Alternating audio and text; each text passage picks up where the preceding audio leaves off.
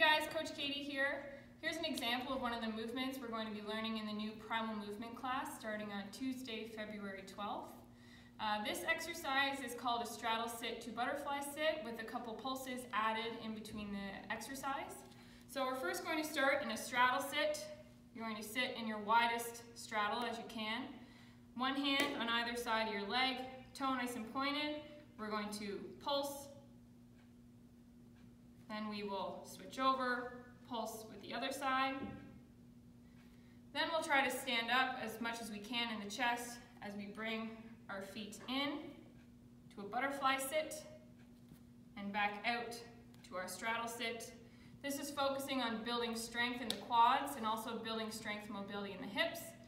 If we need a modification for this, we will use a yoga block to sit on to help with the mobility and then this makes it a little bit more manageable for people that may not have the mobility at this time. So if you have any other questions, click the link above or send us a direct message on Facebook.